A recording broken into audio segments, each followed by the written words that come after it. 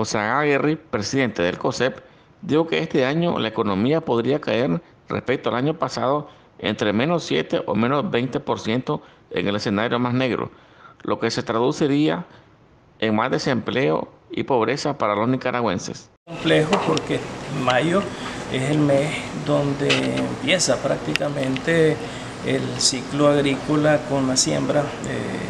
tenemos en este sentido ante la falta de habilitación eh, una realidad que se está viendo en que hay sectores eh, que están teniendo una menor cantidad de manzanas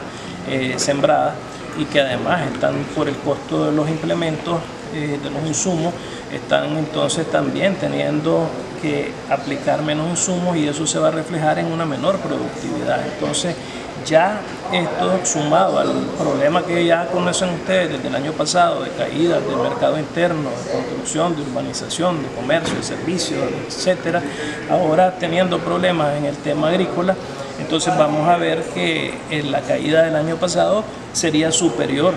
eh, y hay escenarios que van desde una caída de menos 7% hasta escenarios extremos que quisiéramos, por supuesto, que no llegaran a suceder de menos 20. Y cuando hablamos de escenarios extremos, negativos, lo que la gente se tiene que dar cuenta es que esos escenarios simplemente se traducen en más desempleo, en más exilio,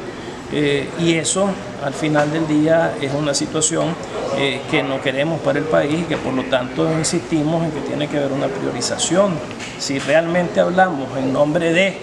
los pobres o a favor de los pobres, que realmente tomemos entonces las decisiones que eviten dañar pues, a la gente más vulnerable.